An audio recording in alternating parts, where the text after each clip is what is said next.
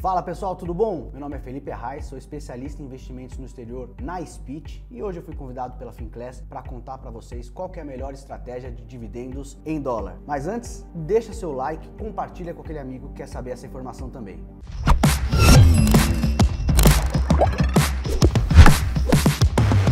Dividendos em dólar. Parece muito bom, né? Imagino que você já deva ter se interessado por esse assunto. Mas antes da gente se aprofundar, e vai ter aula prática hoje sim, a gente vai dar o passo a passo de como você pode ter uma renda no exterior, mas eu queria começar falando sobre o que leva uma empresa a pagar dividendos. Vamos pensar um pouco sobre isso. O que é o dividendo, né? É a divisão do bolo. A empresa cresce, tem receita, gera lucro e aí ela pode te pagar um pouquinho. Só que uma empresa que está em pleno crescimento, numa fase de maturação, ela precisa pegar toda a receita que ela gera e reinvestir no negócio. Então, uma, uma empresa que tem uma grande perspectiva de multiplicação normalmente não vai te pagar dividendos. Então, num cenário normal, a gente espera receber um fluxo de pagamento de uma empresa que seja um pouco mais madura, que gere muito lucro com facilidade, portanto, pode ser que ela não cresça tanto como você espera. Por isso, eu queria já te deixar um alerta para a gente tomar cuidado. Quando a gente foca demais em fluxo de dividendos, a gente pode estar deixando de lado o mais importante, que é qual a natureza da empresa que a gente está comprando. Será que vale a pena comprar uma empresa que eventualmente pode ser ruim só porque ela paga um bom fluxo de dividendos? Então, dito isso, vamos fazer também uma comparação sobre mercados. Mercado brasileiro, a gente tem aqui um risco maior, somos um mercado emergente, tem, nossas taxas de juros são mais elevadas e por isso a gente encontra ativos que pagam até dois dígitos de dividendo ao ano, né? Desde fundos imobiliários até mesmo algumas ações. E outra, com um grande diferencial que é a isenção. Então aqui todo o dividendo que você recebe é isento do imposto de renda. O leão não vai dar uma mordida no dinheiro que cai na sua conta. Então, putz, a gente já vê vantagem clara clara em construir uma estratégia que vai te pagar proventos de forma periódica. Sem falar que a sua carteira de ativos brasileiro costuma ser a maior parte do seu patrimônio. Só que quando a gente cruza a fronteira, o negócio muda um pouco de figura. Taxas de juros nos Estados Unidos, por exemplo, são muito baixas. Então a gente tem que ajeitar aqui as nossas expectativas. A gente não vai conseguir uma carteira de dois dígitos em dividendos lá fora. E outra, como eu falei, que um grande diferencial aqui no Brasil é a isenção do imposto de renda, lá fora a gente não tem essa mamata. Todo e qualquer dividendo corporativo corporativo que é pago por alguma empresa toma uma mordida de 30%. Isso já na fonte, então não tem nem a chance de você sonegar caso você queira. E olha que eu não recomendo de jeito nenhum que você nem tente fazer isso. Então, na prática, suponha que você tenha um montante investido e você receba 100 dólares em dividendos. 30 dólares já fica na boca do leão, você vai receber na sua conta da corretora 70 dólares. Portanto, você deixa na mesa 30%. Isso no longo prazo pode ter um efeito negativo, né? Você está tomando uma mordida em todo o fluxo recebido. Então, se você foca só no dividendo, você pode estar deixando na mesa a oportunidade de crescer o bolo como um todo, crescer o seu patrimônio. Focar em fazer boas escolhas de empresas e setores para que você não foque só no dividendo e foque em crescer o bolo como um todo. Então, nesse momento eu já deixo aqui a minha opinião. Eu não acho que lá fora seja tão vantajoso quanto é no Brasil fazer uma estratégia focada em dividendos. Mas antes da gente prosseguir, eu queria te fazer uma pergunta. Para que, que você quer o dividendo? Qual que é a utilidade dele na sua vida? Você quer um fluxo de pagamentos que ajude a você arcar com contas do dia a dia? Esse é seu objetivo? Cai um dividendo, você reinveste ele comprando novas cotas, novas ações e aí com o tempo você gera essa bola de neve positiva de um juro composto. Decide aqui, qual que é o seu foco? Porque a gente vai falar um pouquinho sobre os dois casos. Se o seu foco for ter esse efeito da bola de neve positiva do juro composto, eu acredito que seja melhor a gente focar então em crescer o patrimônio como um todo, né? Porque pensa só, você quer o dividendo para recomprar mais ação, para que aí seu patrimônio cresça. E se você não focar no dividendo e focar em crescer o patrimônio como um todo, investindo de forma diversificada, com boas empresas, bons setores, não necessariamente que pagam dividendos, mas que vão crescer mais, e aí você cresce o bolo todo como um todo e atinge o mesmo objetivo que você queria lá no início. Agora, se você realmente quer fazer uso desse provento que cai na tua conta, pagar uma, uma mensalidade de uma universidade de um filho que estuda no exterior, ou até mesmo custear uma viagem internacional por ano, né? Eu, por exemplo, adoro viajar, não sei vocês, acredito que muita gente tem esse sonho. Aí sim, o seu foco é usufruir do dividendo e o papo vai ser um pouco diferente. Então, dá um passo atrás aqui só para deixar claro. Se você queria só crescer o bolo e construir essa bola de neve positiva, tem um jeito melhor de fazer isso, que é simplesmente investir focando em crescer o seu patrimônio. Deixa de lado o dividendo, foca em boas escolhas, investir em ações de, de várias partes do mundo, não só nos Estados Unidos, né? Eu acabei de citar para vocês que os Estados Unidos aqui tem uma taxa de juros juros muito baixa. Você pode aproveitar um pouco desse investimento até em países emergentes que não sejam o Brasil para coletar um pagamento um pouco maior, usufruir de classes de investimento imobiliário como os REITs, Real Estate Investment Trust lá nos Estados Unidos, que são os primos americanos dos FIIs que a gente conhece aqui no Brasil. E aí você vai fazer uma carteira diversificada, vai crescer esse bolo e o dividendo aqui vai ser só uma consequência. Você não está focando nele. Você fez boas escolhas de ativos, eles porventura pagam sim um dividendo e aí você reinveste, vai conseguir esse mesmo efeito da bola de neve. Seu patrimônio pode ser até que cresça mais do que se você tivesse focado só em dividendo. Vou dar até um exemplo aqui. Tem alguns ETFs que você encontra nos Estados Unidos que pagam ali quase 10% de dividendo em dólar. Uau, você pode pensar, putz, um nível de pagamento similar ao, ao do Brasil. O que será que tem dentro da carteira desse ETF? Você abre a carteira do ETF, tem um monte de empresa chinesa que você nunca ouviu falar e você olha a valorização desse ETF é, nos últimos tempos, ele derreteu, caiu vertiginosamente, caiu muito mais do que um ETF simples que siga o índice S&P 500, que é o principal índice de ações dos Estados Unidos, com as 500 maiores empresas dos Estados Unidos. Então tá vendo? Se eu tivesse escolhido um ETF como esse, você até você receberia esses 10% em dólar em um ano, mas com a sua cota derretendo. Pode ser que no final das contas o dividendo nem compense a queda do ativo. Agora, vamos para outro lado. Você quer usar essa renda, você quer pegar um dinheirinho que cai ali na sua conta e custear algo. Então, primeiro ponto, vamos ajeitar nossas expectativas aqui. Como eu falei, a maior parte do seu patrimônio costuma estar no Brasil. Então essa carteira no exterior que você vai construir uma estratégia de renda costuma ser uma pequena parte, digamos ali entre 10 e 20% do todo. Então, se a gente tem uma pequena parte do nosso patrimônio e que a gente vai receber um nível bem mais moderado de receita, né? A gente não vai conseguir dois dígitos como a gente consegue aqui no Brasil. Então isso significa que dificilmente você vai se bancar só com o fluxo que vem dessa carteira. Por isso que eu dei esses exemplos, né? Talvez esse fluxo de renda pague uma viagem viagem para o exterior todo ano para você, talvez ajude a custear a mensalidade de um filho que estuda no exterior, ou você mesmo queira fazer um MBA lá fora no futuro. Então, para menores gastos, não o gasto de uma vida inteira. Para isso, você pode construir uma estratégia de renda para sua carteira no Brasil, que vai ser a maior parte e, portanto, pode ser capaz de custear a maior parte dos seus gastos também. Inclusive, vai aparecer aqui no card na tela um vídeo sobre estratégia de renda aqui no Brasil, que pode cair como uma luva para você. Se eu falei para você que focar em dividendos não é a melhor alternativa, a gente deveria focar em crescer o bolo, como então a gente consegue essa bendita renda para usufruir?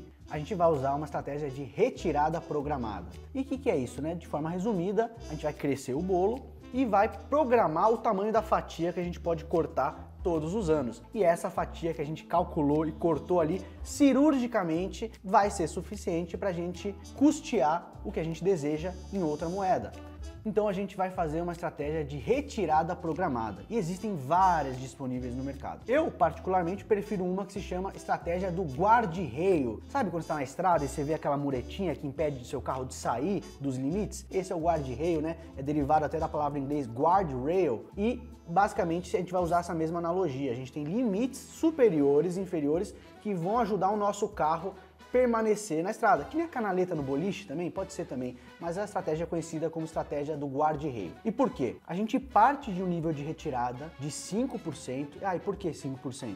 porque diversos estudos na literatura já foram feitos com ativos de países desenvolvidos e essa taxa de 5% é a que teve o maior sucesso em preservar o seu patrimônio, ao passo que você continuar se mantendo uma retirada de 5% todos os anos. Se a gente faz uma retirada de 10%, a gente acaba com o nosso bolo. A gente está cortando fatias mais rápido do que o bolo consegue crescer. Então 5% é o nosso ponto de partida. Aqui já dá para você adequar suas expectativas. Pô, Raiz, mas 5% do meu patrimônio hoje no exterior não dá para pagar nada talvez então você não devesse focar em uma estratégia de renda agora. Foque em crescer o bolo, uma estratégia de multiplicação de capital e mais para frente, quando você estiver mais próximo ali da aposentadoria, talvez esse bolo já, já tenha um tamanho suficiente para que 5% dele seja ali algo legal. Então vamos dar um, um exemplo aqui, só para ficar na cabeça. Se você tem mil dólares investidos no exterior, a gente pode receber ali todos os anos 50 dólares de retirada.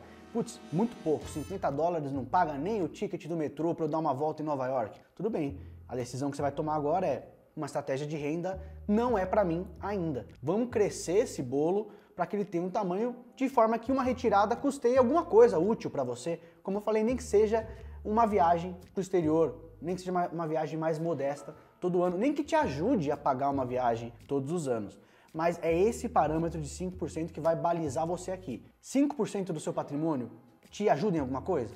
Se não, você vai crescer o patrimônio antes de pensar nisso. Vamos agora um exemplo prático, pessoal. Como que a gente implementa então? Você já decidiu 5% para você é uma quantia legal, é produtiva, você consegue custear o que você deseja em dólar.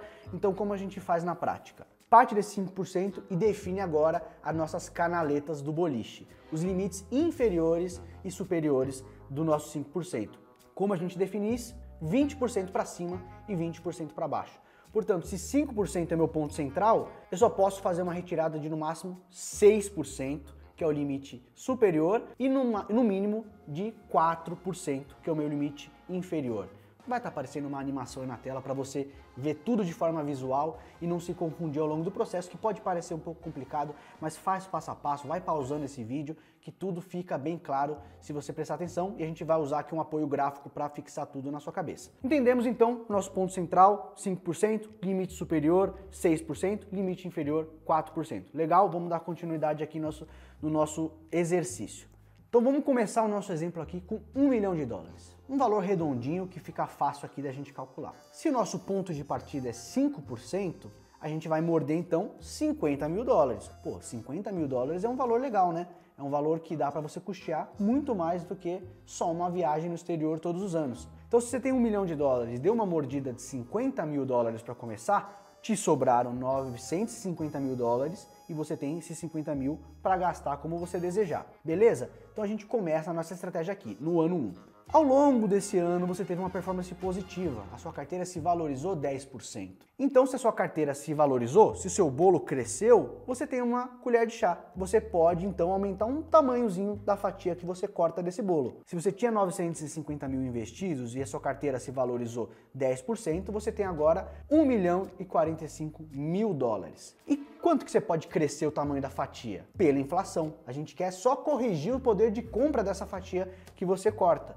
Então, se a inflação, nesse nosso exemplo lúdico aqui, tivesse sido de 3% ao longo desse ano, você vai pegar esses 50 mil dólares que você retirou, vai incrementar 3% dele, portanto, vai ficar num valor de 51.500 dólares e agora você tem uma fatia um pouco maior desse bolo que você pode cortar. Então é só isso? Não, calma. Antes você tem que fazer uma verificação rápida. Aí que a gente vai voltar para o nome da estratégia, guarde-reio. Lembra que tinha aqueles limites superiores e inferiores de 6% e 4%? É agora que a gente vai verificar se a nossa nova retirada programada, se o tamanho da fatia do bolo que a gente vai cortar está dentro desse limite que a gente estipulou. Como que a gente faz essa verificação? Vai aparecer aí na tela a continha que você tem que fazer. Você vai dividir a sua nova taxa de 51.500 pelo seu patrimônio que agora cresceu 10%, então 1 milhão e 45 mil. O resultado é 4,93%. Ou seja, esses 51.500 agora representam 4,93% do seu patrimônio. Então está dentro do seu limite do guarda-reio, então tudo ok, você pode cortar essa fatia do bolo e usufruir pelo ano que vem pela frente. E aí a verificação continua. Vamos dar alguns exemplos no caso de o seu patrimônio ter encolhido ou crescido muito. Vamos dar alguns exemplos práticos para que fique bem fixo aqui na sua cabeça. Ainda um exemplo positivo. Agora no ano seguinte você teve uma baita rentabilidade. Você acertou a boca do balão e seu patrimônio cresceu 50%. Então você tinha um bolo, agora você tem um bolo e meio, né? Cresceu bastante. Legal, então eu posso crescer muito a minha taxa de retirada. Calma lá, vamos crescer pela inflação. A gente quer, como eu falei, garantir que o seu bolo não acabe antes do tempo, que você usufrua do patrimônio que você acumulou ao longo de anos, né? Então vamos crescer pela inflação. Nesse segundo ano, a inflação não foi mais de 3. A inflação foi um pouquinho mais salgada, foi de 5%, por exemplo. Então, os seus 51.500 agora vão ser 54.075 se aumentou um pouquinho mais esse bolo. E o que a gente tem que fazer agora? Fazer a verificação. Será que esse, essa fatia está grande ou pequena demais em relação ao todo? Como nesse exemplo que eu acabei de dizer para vocês, a performance tinha sido muito alta, de 50%, o seu patrimônio subiu daqueles 1 milhão e 45 para 1 milhão 490.250 dólares. E aí a continha vai aí na tela aparecer para você da verificação que você precisa fazer agora com o auxílio de um Excel ou uma calculadora. Vai dividir 54.075 por 1.490.250 e o resultado que a gente encontra é 3,62%. Ou seja, ficou abaixo do nosso limite inferior do guarda-reio.